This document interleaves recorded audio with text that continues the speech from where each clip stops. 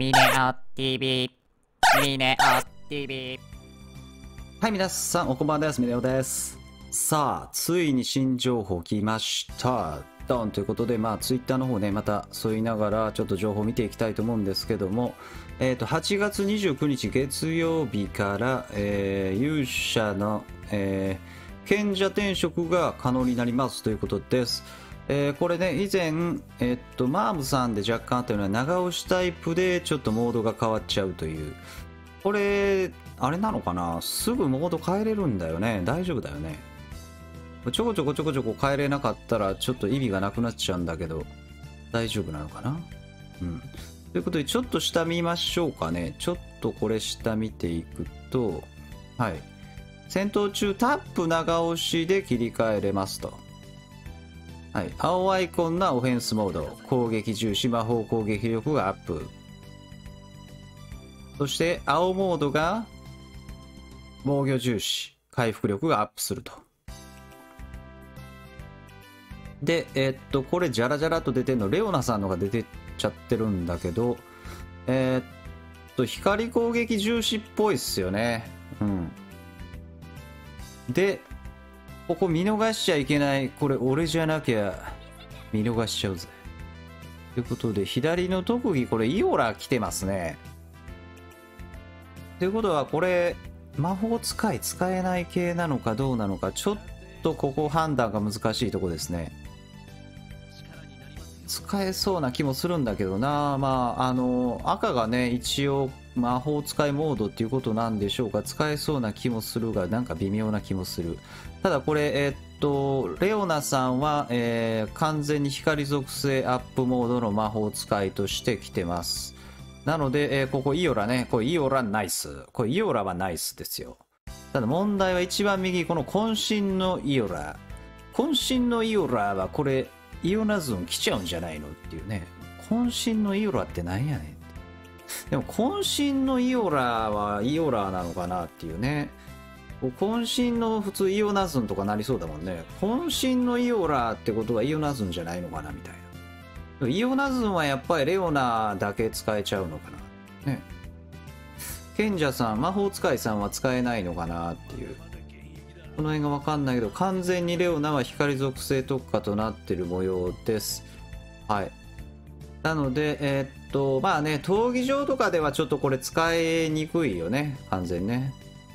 うん、まあ、魔法使いモードとしてひたすら使うっていう手はあるけども、はい。ただ、あの高難度とかにおいてはかなり必須になってきちゃうんじゃないかな、レオナさん。はい。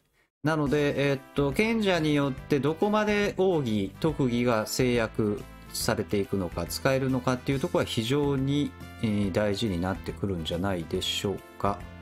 うん。はい、ということで、じゃあちょっと上見てみましょうかね。さらにということで、今出てた、えーっと、レオナさん。はい。こちら、王家の服を受け継ぐ賢者イベントが開催されますと。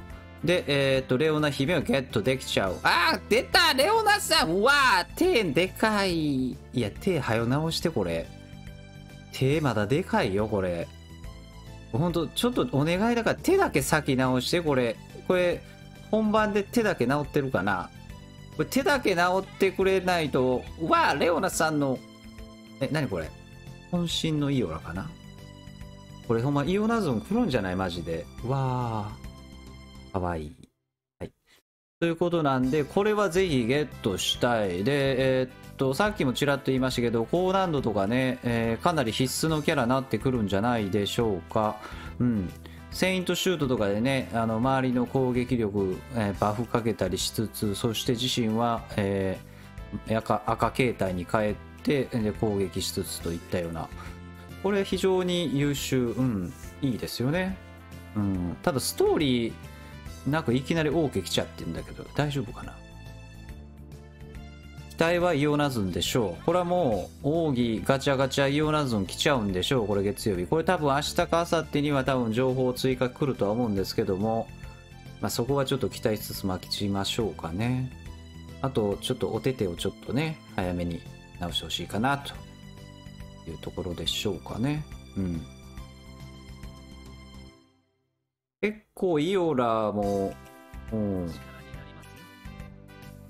ね、出は悪くないよね。ちょっと、行くスピードがあれかもだけど、うん、悪くない。はい。ということで、えーっとね、えーっと、いつものように、えー8月29日、11時から15時、メンテナンスが始まります。はい。えー延長しないでね、お願いだよ。えー雑談タイムに入っちゃう可能性あるからね、これ。でも、この、あかん、この曜日はちょっとあかんよ。ちょっと仕事あるからね、これ。まあ、ちょっともうシャキッと終わって、シャキッとレオナさんゲットして、えー、ね、鍵ガチャを当てたいと思います。はい、ということでね、あの魔法関係、あと、杖関係とかね、まあ、そちらの方、および、もしかしたら回復関係、うん、来るかわかんないけど、まあ、紙幣集めて、えー時を待ちたいと思います。はい、いつもご視聴ありがとうございます。またよろしければ、Twitter のフォロー、チャンネル登録ぜひよろしくお願いします。またじゃあライブでお会いしましょう。バイバイ。